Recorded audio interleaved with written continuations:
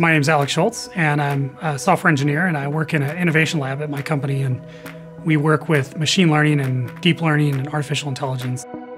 I think there's this notion that you have to be a math major or have a PhD to get into machine learning, and I can tell you that's not the case. I come from a regular development background. I got this job about four months ago, and it all pretty much started with AWS and participating in the Deep Lens Challenge. This is my project submission for the AWS Deep Lens Challenge. I was coming up with all these ideas and things that I could do. When I first started, I built a project called DeepStash where you just draws mustaches on people's faces. That was kind of fun. But I was reading to my kids one night. Why would I be afraid of a long tongue? I asked.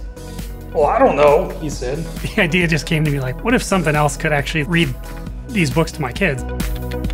So I created this project called Read to Me, which actually takes children's books and reads them out loud to children. Would you like to read a story? When I first started building this thing, I had to kind of break it down into steps. First thing, we had to find the block of text. You have to run it through something called OCR, so optical character recognition. And then I sent that off to Amazon Polly, turned it to speech, and then I got the audio file back. And I said, How I wish we had something to do. I told my kids that, hey, you know, if I win, then I'll give each you $100 sort of half jokingly, like, oh, I'm not going to win this. Like, there's no way.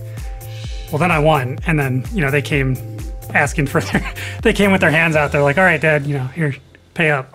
And I'm excited to announce the launch of a new sports league, AWS Deep Racer League. The next year at reInvent, when they announced the Deep Racer, my initial thought was, how does a self-driving car know what to do?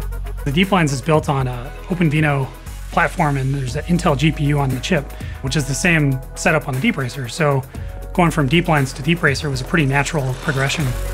It's a fun way to learn. You can take the code that they already have as an example, and then through the console, they've really abstracted away a lot of the heavy lifting. It's really cool that AWS built this platform, the AWS Deep Racer, where normal developers can kind of get in and get their feet wet with reinforcement learning. DeepLens, Deep Racer, there are ways that you can get your hands dirty. You can go from there. I don't think I'd be where I'm at now without Deep Lens and Deep Racer